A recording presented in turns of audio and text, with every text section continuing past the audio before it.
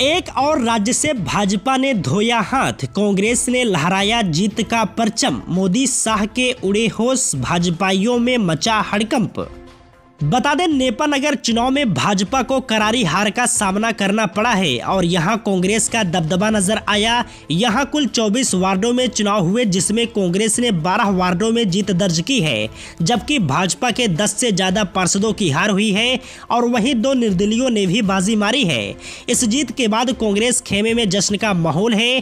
कांग्रेस की ओर से पहले ही अध्यक्ष की दावेदारी के लिए भारतीय विनोद पाटिल का नाम तय कर रखा गया है। उन्होंने भाजपा से दो बार के पार्षद की पत्नी को हरा दिया।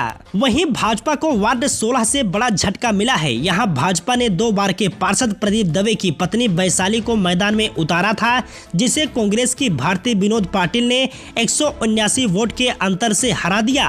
कांग्रेस ने भारती को अपना अध्यक्ष पद के लिए घोषित भी कर दिया है। वहीं भाजपा से पूर्व अध्यक्ष मीना राजेश चौहान ने वार्ड आठ से जीत दर्ज की। भाजपा से पूर्व नगर पालिका उपाध्यक्ष रहे विजय यादव की पत्नी, चंचला विजय यादव ने वार्ड बारह से जीत दर्ज की।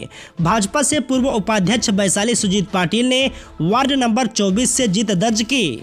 जानकारी के लिए बता दें, वार्ड नंबर 21 का मुकाबला बड़ा रोचक रहा। यहाँ भाजपा से प्रत्याशी छाया गोडगे और निर्दलीय सरला प्रवीण काटकर दोनों को 126 126 मत मिले, जहाँ लकी ड्रा से नाम निकाला गया, जिसमें सरला प्रवीण काटकर ने विजय दर्ज की। सरला के प्रति प्रवीण काटकर पूर्व भाजपा मंडल अध्यक्ष रहे हैं। अध्यक्ष पद की प्रत्याशी भारती विनोद पाटिल ने भी जीत दर्ज की। वही नेपा नगर पालिका चुनाव में कांग्रेस और भाजपा के बीच कांटे की टक्कर रही। हालाँकि स्टार प्रचारकों के मामले में भाजपा आगे रही, लेकिन कांग्रेस ने भी जनसंपर्क करने और चुनाव जीतने के लिए मेहनत करने में कोई कसर नहीं छोड़ी।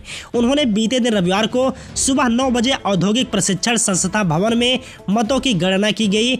एक घंटे में पूरी तस्वीर साफ़ हो गई। बता दें कि इस बार अध्यक्ष का चुनाव अप्रत्यक्ष प्रणाली से होना है। चौबीस वार्ड के लिए नगर पालिका चुनाव में कुल सत्तर प्रत्याशी मैदान में थे। इस बार कांग्रेस भाजपा के बीच कड़ा मुकाबला हुआ। वहीं अब अध्यक्ष पद को लेकर कवायद शुरू हो गई है। कांग्रेस के अध्यक्ष पद के लिए अधिकृत उम्मीदवार भारती विनोद पाटिल पूर्व से घोषित हैं। तो वहीं भाजपा से मीना राजेश चौहान भी अध्यक्ष के दावेदार हैं।